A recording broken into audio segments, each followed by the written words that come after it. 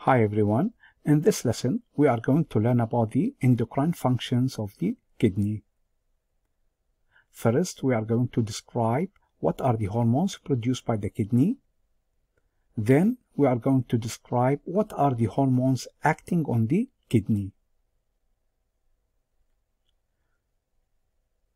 So first we shall start with the hormones produced by the kidney.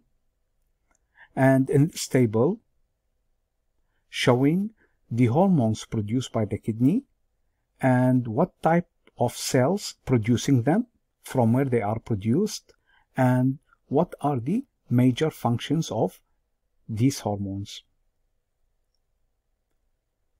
The hormones produced by the kidney, they are major, they are three hormones. The first hormone is renin. Renin is produced from the juxtaglomerular apparatus. Within the kidney, within the juxtaglomerular apparatus, production of renin. But more specific, renin is produced by the granular cells that is within the juxtaglomerular apparatus. The major functions of renin is regulation of blood pressure through formation of angiotensin 2. Angiotensin 2 is a potent vasoconstrictor and also angiotensin 2 involved in the production of aldosterone. Second hormone produced by the kidney is calcitriol or active form of vitamin D. Uh, calcitriol is produced by the proximal convoluted tubular cells. That is the first part of the nephron, the proximal convoluted tubular cells. The major action of calcitriol is to promote calcium and phosphate absorption from the GIT. The third hormone produced by the kidney is erythropoietin. And erythropoietin produced from the fibroblast-like cells.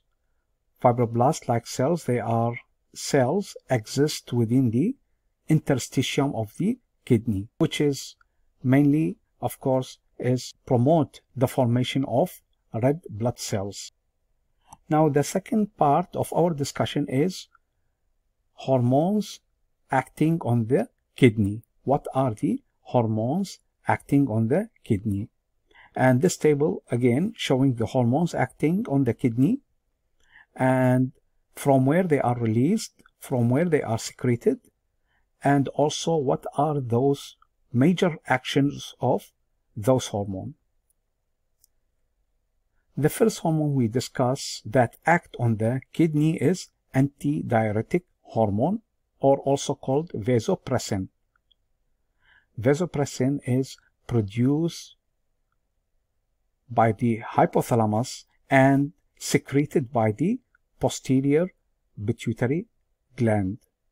The action of antidiuretic hormone is on the last part of the nephron or within the collecting tubule, within the collecting tubule, and the major action is water retention or water reabsorption. The second hormone acting on the kidney is parathyroid hormone. Parathyroid hormone is produced from the parathyroid gland. And parathyroid hormone having few actions within the kidney.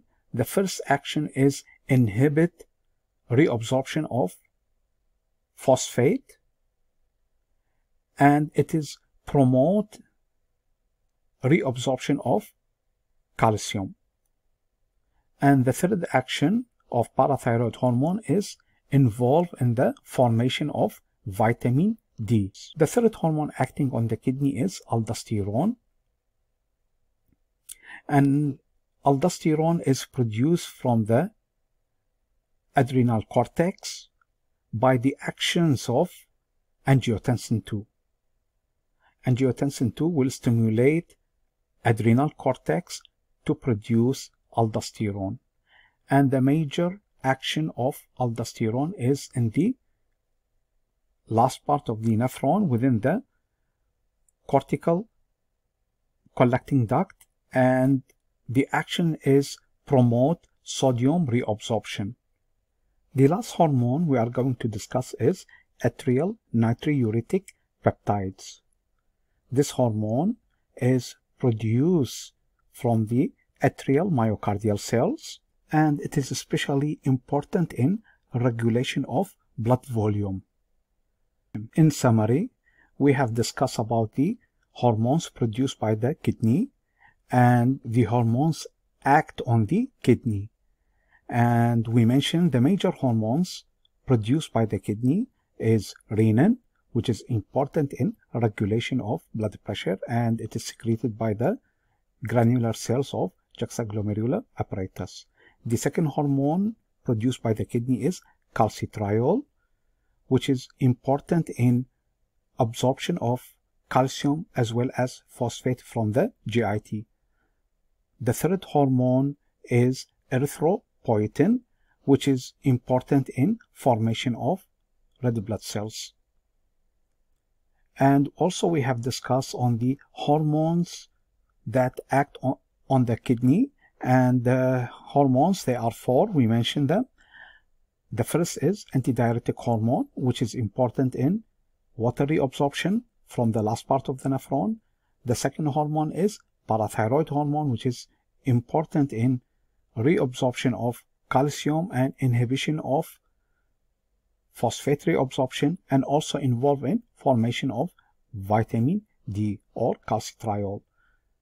The third hormone act on the kidney is aldosterone, which is important in reabsorption of sodium and excretion of potassium ion. And the last hormone act on the kidney is atrial natriuretic peptide, which is just opposite action to aldosterone, and it is important in inhibition of sodium reabsorption. Thank you very much.